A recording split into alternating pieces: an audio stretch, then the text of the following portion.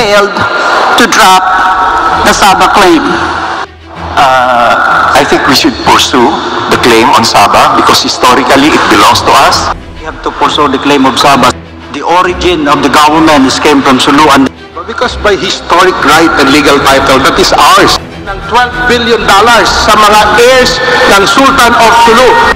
But the thing is, who conducted the survey? It was the Malaysian government. To recognize that uh, Sabah um, belongs to the territory of the Philippines.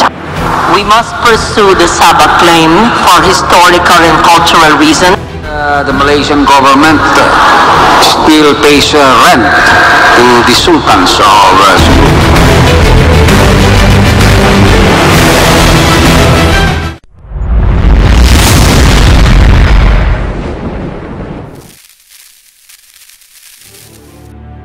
Sabah merupakan sebuah negeri yang berdaulat bersama-sama dengan Sarawak dan semenanjung tanah Melayu sehingga terbentuklah sebuah negara yang kita cintai iaitu Malaysia. Mengikut sejarah, Sabah juga termasuk dalam kekuasaan negara Brunei Darussalam dan sejarah terawal yang direkodkan di Sabah tamadun bermula adalah pada abad ke-15 ketika era Kesultanan Brunei Darussalam. Berbalik kepada isu yang hangat diperkatakan sekarang ialah berkenaan dengan tuntutan Filipina ke atas Sabah malah isu Sabah diperdebatkan oleh ahli politik Filipina difahamkan sebelum penubuhan Malaysia tentangan yang hebat telah dilakukan oleh Filipina yang mempertikaikan Sabah membentuk Malaysia kerana ia melibatkan kedudukan geografi, sumber alam, sumber asli dan sebagainya. Oleh itu, Filipina membantah keputusan penubuhan Malaysia. Sewaktu itu, isu yang disentuh oleh Presiden Makapagal selaku Presiden Filipina ialah pendakwaan bahawa Sabah ialah sebahagian daripada milik Filipina. Tetapi, pungutan suara telah dibuat melalui Suruhanjaya Kobot dan ternyata majoriti rakyat wilayah Sabah sendiri memilih untuk bersama-sama Sarawak dan Semenanjung Tanah Melayu untuk membentuk Malaysia. Walaupun begitu, kerajaan Filipina terus membantah keputusan itu dan akhirnya tindakan drastik telah diambil oleh Filipina sebagai bantahan keputusan tersebut ialah memutuskan hubungan diplomatik dengan Malaysia pada waktu itu.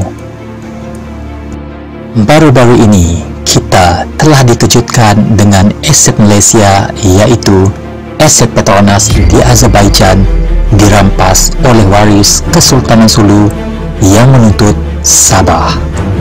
Ramai rakyat Malaysia terkejut kerana tidak menyangka kejadian ini akan berlaku dan kita rakyat Malaysia mengakui bahawa Sabah adalah sebuah negeri berdaulat di dalam Malaysia dan tindakan oleh waris Sultan Sulu akan membawa implikasi yang besar ke atas negara kita jika tidak ditangani dan dibantras dengan lebih serius. Ini kerana sekiranya dibiarkan sahaja tanpa sebarang jalan penyelesaian yang serius dan tegas, maka ia akan mendatangkan kemudaratan kepada negara kita kerana wakil Sultan Sulu akan berleluasa dan tidak akan berhenti untuk mengambil aset negara dengan membuat perancangan yang licik pada masa yang akan datang dan tidak mustahil dalam masa yang sama mereka akan menjadikan isu Sabah untuk mengambil sedikit demi sedikit aset negara dengan alasan mereka berhak kerana mereka adalah waris Kesultanan Sulu dan ini secara tidak langsung akan merugikan Malaysia terutamanya rakyat Sabah. Tetapi, siapakah sebenarnya waris Sultan Sulu ini dan kenapa mereka dengan beraninya merampas aset Malaysia di luar negara? Bagi merungkai masalah ini, mari kita harus mempelajari sejarah Sabah. Diringkaskan cerita, bermula pada abad ke-15, Sabah masih di bawah era Kesultanan Brunei Darussalam. Pada kemuncak Empire Kekuasaan Brunei, jajahan mereka merangkumi sebahagian besar Pulau Borneo dan Pulau Palawan. Dikatakan lagi, terdapat dua kenyataan berbeza di mana dari perspektif Kesultanan Brunei Darussalam dan Kesultanan Sulu mengenai hak pemilikan Sabah selepas terjadinya Perang Saudara Brunei pada tahun 1661 sehingga 1673. Mengikut sejarah Kesultanan Sulu, dikatakan bahagian timur negara Sabah telah diserahkan kepada Sultan Sulu oleh Sultan Brunei kerana membantu menewaskan musuh Brunei. Namun, banyak sumber mengatakan ianya tidak pernah diserahkan kerana tentera Sulu tidak turut serta membantu dalam perang tersebut dan dikatakan hanya tiba ketika perang telah tamat. Mengikut catatan karya sejarah Brunei yang ditulis pada 1880, iaitu salah silah kitab keturunan dari Rajas of Brunei yang membantah tuntutan Kesultanan Sulu. Ia menyatakan bantuan Sulu belum tiba sewaktu Bendahara Muhyiddin telah melakukan serangan ke atas Sultan Mubin di Pulau Cermin. Selepas berlakunya Perang Saudara Brunei, seluruh jajahan Sabah dan Sarawak, termasuk Kesultanan Sulu, semakin lemah dan Kesultanan Sulu mengambil peluang untuk membangun kekuasaan de facto di daerah pantai timur negeri Sabah. Kesultanan Brunei tidak mengiktiraf keberadaan kekuasaan Sulu atau kuasa lain ke atas wilayah Sabah dan Sarawak selain pelantikan Raja James Brooke di Sarawak melalui pelantikannya pada Ogos 1842 menggantikan Pangeran Mahkota Muhammad Saleh. Walaupun begitu, ketika zaman keemasan iaitu pada akhir abad ke-17 hingga ke-18, pengaruh Kesultanan Sulu tersebar di wilayah Sabah dan selatan Filipina. Tetapi apabila kehadiran penjajah barat secara langsung menamatkan pengaruh Sultan Sulu apabila Filipina jatuh ke tangan Spanyol dan secara otomatik British berkuasa di Sabah dan Amerika telah menghapuskan Kesultanan Sulu melalui Perjanjian Carpenter yang ditandatangani pada 22 Mac 1915 apabila Sultan Jamalul Kiram kedua menyerahkan semua kekuatan politik ke Amerika Syarikat.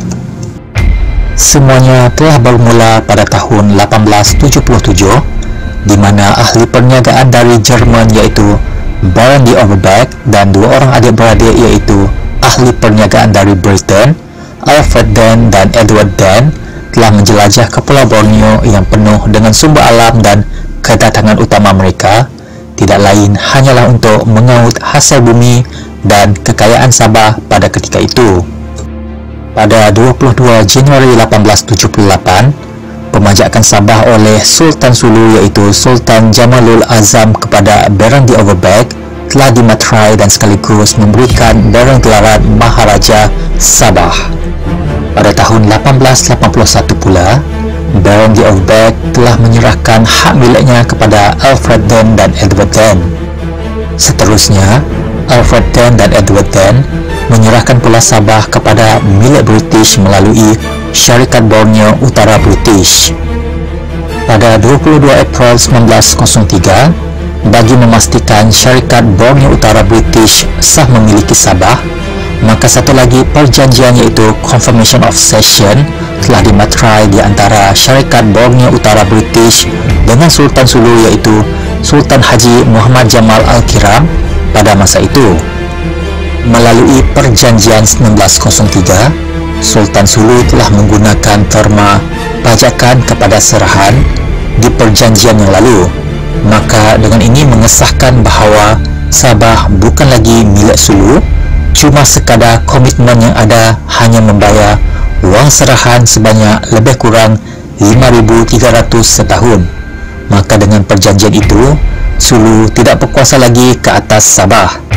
Selepas Perang Dunia Kedua, Sabah telah dijadikan sebahagian dari Empire Jepun dan selepas itu, Sabah dijadikan jajahan British pada 1945, maka dan bermula tahun 1946 hingga 1963, Sabah adalah koloni yang berada di bawah naungan British.